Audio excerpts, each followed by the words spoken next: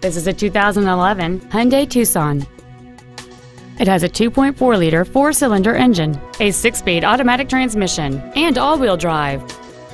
Its top features include heated front seats, heater vents for rear-seated passengers, cruise control, a six-speaker audio system, a leather-wrapped steering wheel, a multi-link rear suspension, aluminum wheels, a low tire pressure indicator, heated side view mirrors, and this vehicle has fewer than 25,000 miles on the odometer. With an EPA estimated rating of 28 miles per gallon on the highway, this automobile is clearly a fuel-efficient choice. Please call today to reserve this vehicle for a test drive. Bob Zimmerman Ford is dedicated to doing everything possible to ensure that the experience you have selecting your next vehicle is as pleasant as possible.